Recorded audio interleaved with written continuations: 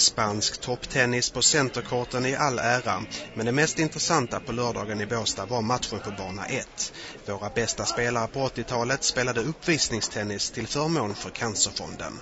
De åtta spelarna har tillsammans spelat hem 177 titlar genom åren och enligt någon uppgift ligger den sammanlagda summan intjänade pengar på runt en halv miljard. Jo, det gick bra tycker jag. Vi hade väldigt roligt idag. Eh, det är alltid kul att spela med de här killarna och få chansen att göra det i Sverige. Det händer inte så ofta så att, eh, vi hade väldigt roligt.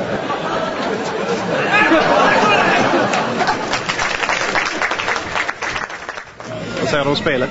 Ja, det var väl inte sådär jättebra. Vi, vi är inte så vältränade någon av oss. Och, eh, med tanke på förhållandena med vind och regn och sådär så var det kanske lite svårare att spela. Men ja, det funkar väl hyfsat.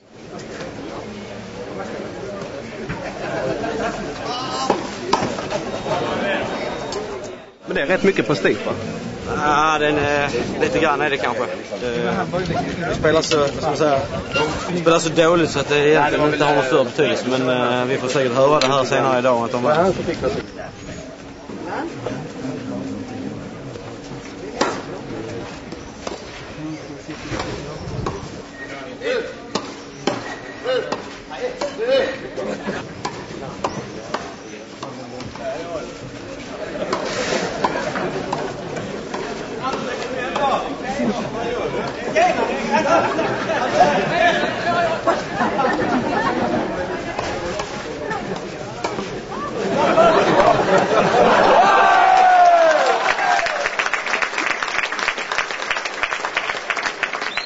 Har vi spelat trippel tidigare?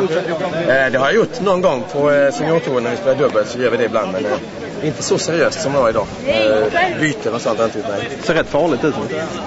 Ja, från sidan ser det farligt ut.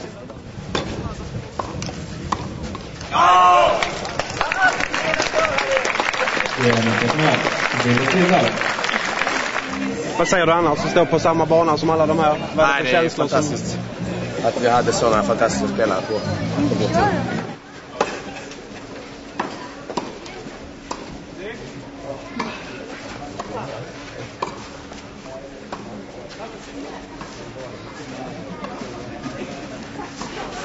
Thank